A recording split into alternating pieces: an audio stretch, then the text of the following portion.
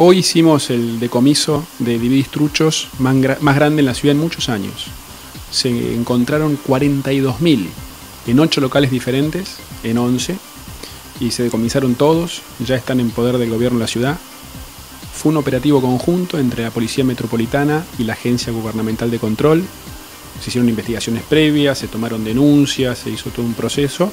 Y bueno, y hoy se allanaron 8 lugares eh, hay ocho personas detenidas, que son los responsables de cada uno de los locales, y todos estos DVDs van a ser destrozados, rotos uno por uno, para que no vuelvan a, a comercializarse. Y vamos a ser muy, muy duros con todos los que venden mercadería trucha, porque le están sacando el trabajo a la gente que cumple. Entonces, todo esto viene en nuestro, en nuestro plan de dinamizar la ciudad, de promover el trabajo, de promover el empleo.